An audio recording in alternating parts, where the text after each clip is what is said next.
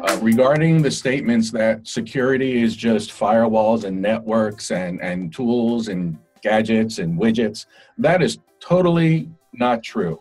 Those things make up a large portion of what security is, but in today's landscape, the real boundary to a to make a, a secure organization are the people, and it's the people in the organization who we have to educate on how to recognize where there are risks. And it's less about putting up barriers and walls, which are still important and are still necessary, but more about educating the environment, the user environment and, and the university environment on how to recognize risk and how to manage the risk much better.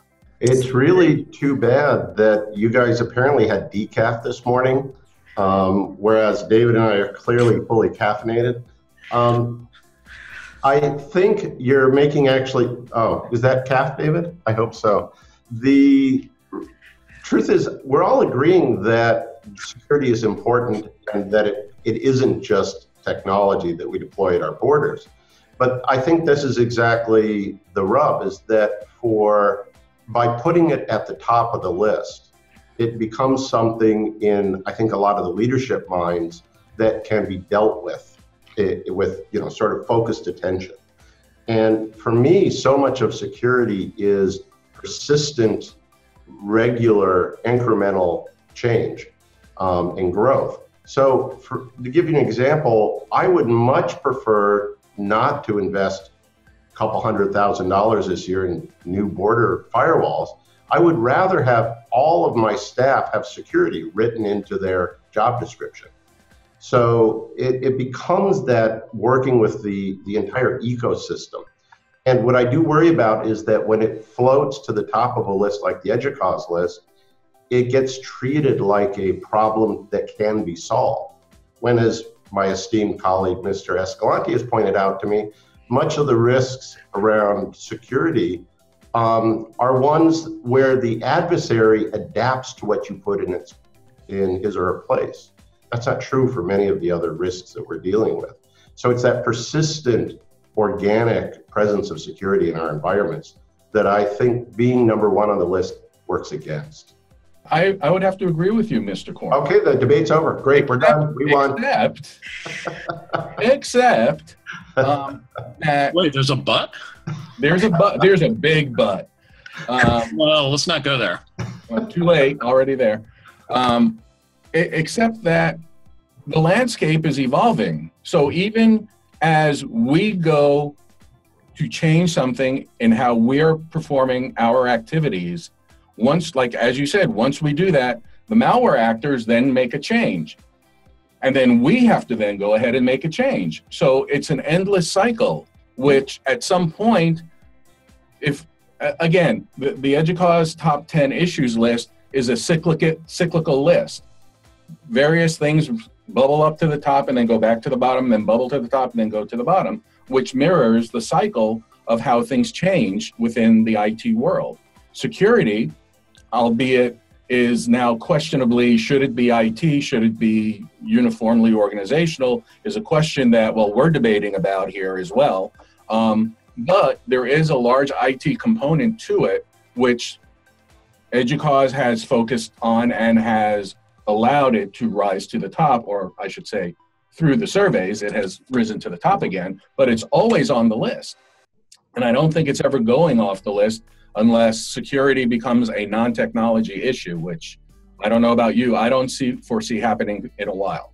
So I, I agree with you with basically what you're saying, um, but I do um, think that through the cyclical, cyclical nature of things, it will keep bubbling up to the top. And for us as security professionals, that is the indicator to, hey, you know, it's time to reassess our security program and see if we have to do any changes, which may include looking at all the job descriptions and making sure security is written into everybody's job description or something else that is non technology related. I feel as though Mike sort of made our point for us, Neil, that uh, IT security needs to be number number one on the list. And I, I would add, in, in some ways, because of that uh, evolving nature, because the actors have become more sophisticated in their attacks against our institutions, that there may be have some that uh, because of whatever reason, a budget, not paying attention to it, that this is a time to reinvest in security and think about what's needed. And not every institution is in the same place on this, in, in this arena. Uh, what does it mean for a community college to invest in, in, uh, in, in security efforts? What does it mean for a research institution to invest in security efforts? And that might be a bit different but I do think that in many ways, uh, because of the changes and the, the nature of how we address security changes, that we may have fallen behind in some places. And so this is why it's bubbling to the top as an issue.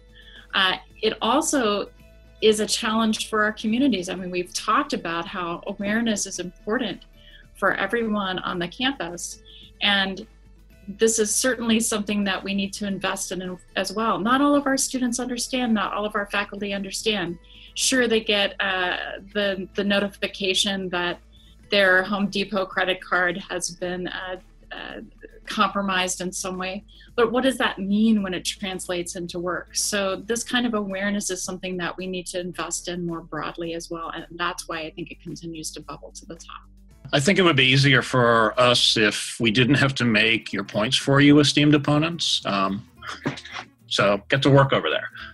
Um, I just wanted to mention something from the EDUCAUSE review that um, came out with the top 10 issues. That was a quote from the CIO here at Boston College that I think ties in with what we're talking about here.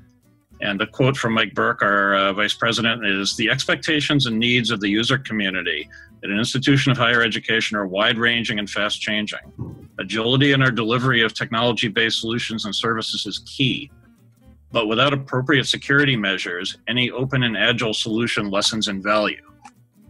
And I think this is what we're talking about and are somewhat in agreement on that what ought to be core to our mission and what we ought to be working on is coming up with meeting the expectations and needs of our user community.